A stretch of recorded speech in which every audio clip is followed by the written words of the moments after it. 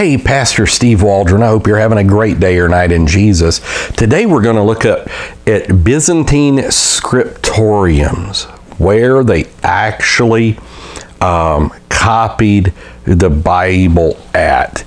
And so here on TextusReceptusBibles.com, under Byzantine scriptoriums, there's this beautiful picture of these scriptoriums, what it'd be like. A lot of people forget, like, uh, heating and air are very recent inventions. Like, I've got a lot of family from South Georgia. I can remember my grandmother when she got a window unit AC. It was like heaven on earth. And so, a lot of human history just didn't have that. And so Byzantine scriptoriums, it's got a fireplace here and all this, you know, climate control. So let's look at that.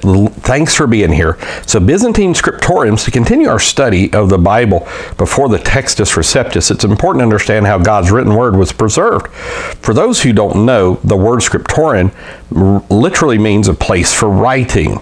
It's commonly used to refer to a room in medieval monasteries devoted to writing, copying, and illuminating of manuscripts by monastic scribes before the advent of the printing press, 1453-ish.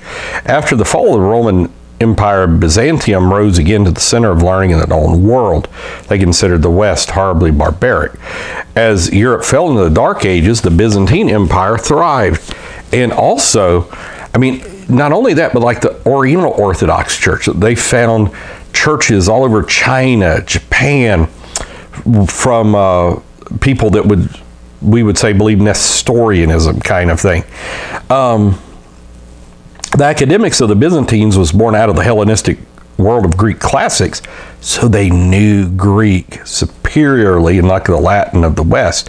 Ironically, the Europeans viewed all things Hellenistic as pagan, but the empire was pure Christian, had been since Emperor Constantine, the first Christian emperor, made it that way in the fourth century, which, oddly enough, Constantine was in all probability baptized in Jesus' name, quite likely after he was already dead, but in Arianism, not in Trinitarianism. The first Council of Nicaea did not establish Trinitarianism throughout the empire in a lasting way.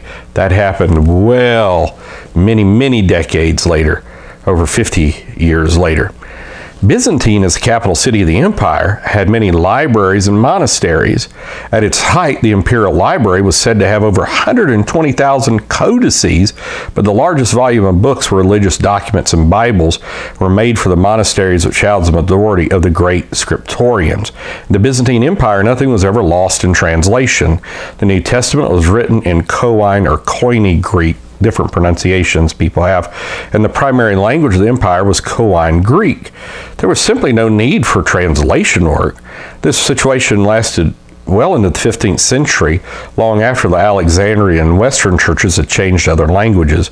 Having scribes who were skillful in the Greek language, the Byzantine scriptorium is a much better place to produce more accurate and much more uh, manuscripts. And this tradition lasted for over a thousand years.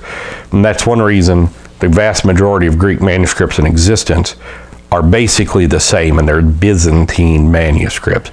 And so, and they would also have like they had rows here.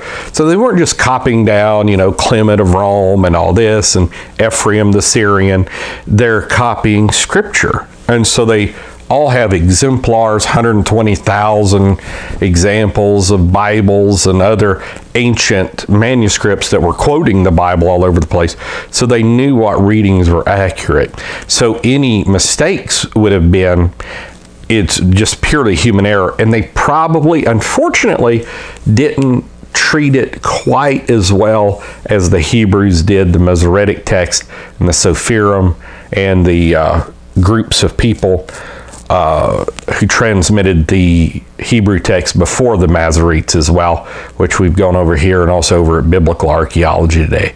Steve Waldron, a little podcast we do on biblical archaeology. So this is very significant, Byzantine scriptoriums.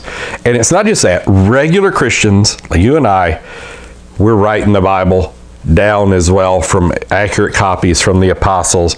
And this would be, again, in the lost Christianities and the things that Martyr's Mirror by von Vlock talks about, 1637. Foxe's, the little groups, hundreds upon hundreds of little groups known as Petrobrusians and Bogomils and all other types of designations.